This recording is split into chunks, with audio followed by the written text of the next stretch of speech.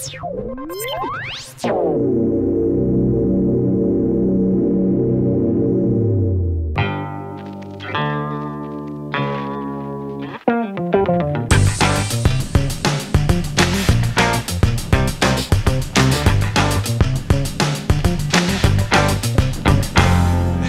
Dave Ochs here at Mountain Flyer, Day 2 North American Handmade Bike Show 2012. I'm here with Todd Ingermanson out of Bl- Black Cat Cycles out of Santa Cruz, California. Nice easy commute for you. How many uh, NAHBS have you been to, Todd? Um, I believe this is four years or four NAHBS in five years. Four NAHBS in five years, and so far, after just day one, uh, what's the reception been like? What do you think about the uh, crowd in Sacramento? How's it been? Um, I'm always impressed with the crowds, and Sacramento is just right up there. Um, the crowds here are great. They know what you're talking about. You know, they know the vernacular. They know the components. They they know what they're doing. They know what they're talking about. It's cool. So tell us about Black Cat Cycles. What's your philosophy? Oh, mm, um, try to make cool bikes, ride bikes. Um, let's see, what is the b- philosophy? I don't know. I I kind of like to ride all types of bikes, so I like to make all types of bikes. So I think that's reflective in what I like to make and kind of what I spend time on and all that kind of stuff. Certainly, just the three bikes you have here, even the mountain, the road, and I mean, I almost want to call it the long distance. I'd call it the full moto dirt touring bike. Right on. And what's your favorite material to work with? Um, I like true temper steel.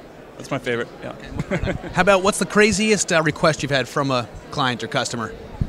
Um, don't. Everybody's pretty realistic with me. I've I've been pretty lucky. No, no like full arrow recumbents or anything like that. I've I've been pretty lucky.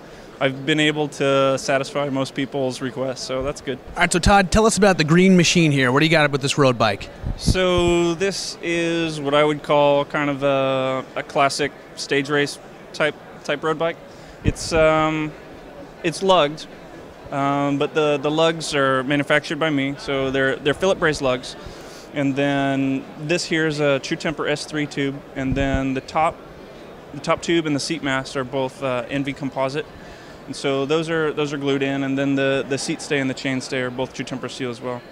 So what that allows me to do is the, the seat stays and the and the chain stays and the down tube really are kind of where you can fine tune a lot of your ride character, characteristics, and those options just aren't available in carbon. So with this, I can really make a custom riding bike that has I think the best attribu- attributes of steel as well as carbon.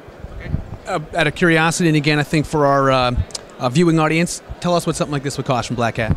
Um, the frame is 3500 before paint, and then the paint's a little bit more. It has to be wet wet paint instead of powder coat because you know you can't powder coat uh, carbon. So uh, you're probably looking at about 4500 for the frame set, the frame, the fork, and the the seat post and the seat post topper. Yeah, and then potentially a stem.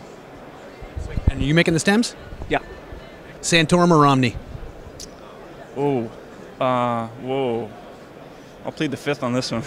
Boxers or briefs? um, how about a boxer brief? There you go. How about would Jesus ride a black cat? Hell yeah. Hell yeah. right on. This is Todd Ingermanson, Black Cat Cycles out of Santa Cruz. Todd, thank you so much, man.